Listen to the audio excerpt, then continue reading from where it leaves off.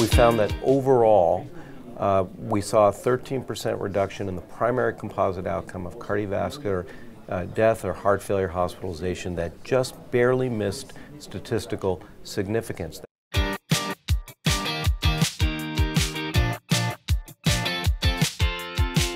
So we studied patients with heart failure with preserved ejection fraction. Uh, we uh, used sacubitril valsartan, which we've previously shown to benefit patients with heart failure reduced ejection fraction. And as you know, there is no currently approved or evidence-based therapy for heart failure with preserved ejection fraction.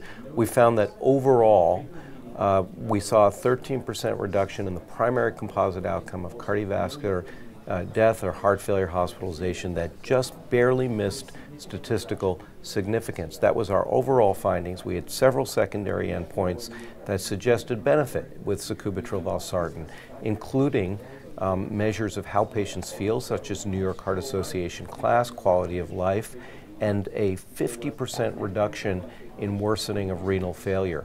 In addition, and importantly, we found that there were two specific subgroups that benefited to a greater extent than others. These were patients with the lowest end of ejection fraction, with, with um, uh, ejection fraction below our median of 57, or at or below our median of 57%, and in women.